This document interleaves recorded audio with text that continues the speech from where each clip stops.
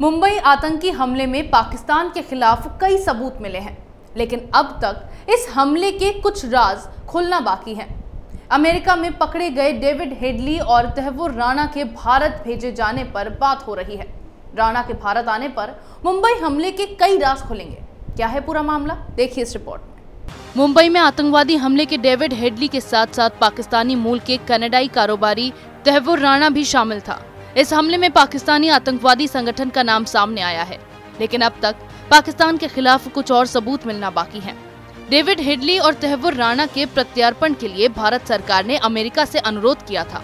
हालाँकि David Headley को भारत प्रत्यर्पण नहीं किया जा सकता है, लेकिन तहवुर राणा को भारत को सौंपे जाने की बात की जा रही है।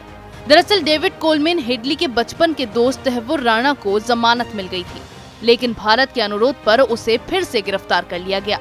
भारत सरकार ने राणा के प्रत्यर्पण की मांग की है, जिसकी सुनवाई अमेरिका की अदालत में की गई है। लेकिन राणा के वकील ने उसके प्रत्यर्पण का विरोध किया। उनका कहना है कि जिस आधार पर हेडली को भारत भेजे जाने से मना कर दिया गया है, उसी आधार पर राणा को भी भारत नहीं भेजा जाना चाहिए। लेकिन दोनों के मामले के बीच अंतर है। अमेरिकी अटानी ने कहा है कि हेडली ने अपना गुनाह तुरंत स्वीकार कर लिया था और वह सरकारी गवाह भी बन गया। इसके बाद उसे 35 साल जेल की सजा दी गई। लेकिन राणा के साथ ऐसा नहीं है। उसका मामला अलग है।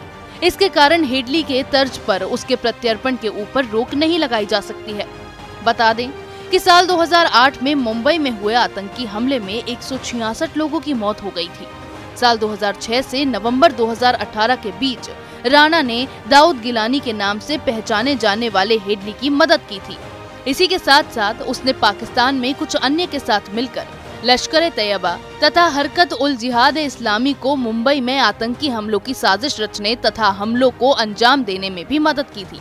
पाकिस्तानी अमेरिकी डेविड हेडली लश्कर का आतंकी है और राणा उसका बचपन का दोस्त है, जिसने आतंकी हमले की साजिश रचने में उसकी और आतंकी संगठन की मदद की थी। हालाँकि अमेरिका ने राणा के प्रत्यर्पण के भारत का अनुरोध कभी दर्ज नहीं किया। लेकिन जल्द ही इसे दर्ज किया जा सकता है। अब राणा के भारत आने का रास्ता साफ़ होता दिखाई पड़ रहा है।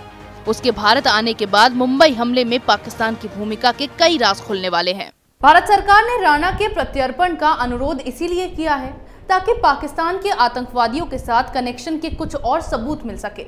राणा के भारत आने के बाद कई अहम सबूत मिलेंगे, जिसका इस्तेमाल पाकिस्तान के खिलाफ किया जा सकता है। आतंकवादियों का पनागा बना पाकिस्तान के लिए एक और मुश्किल खड़ी हो गई है। भारत इसका उपयोग पाकिस्तान के खिलाफ कड़े प्रतिबंध लगाने के लिए कर सकता है। इसी तरह की खबरें मैं आपके लिए लाती रहूँगी। तब तक के लिए बने रहिए हमारे साथ।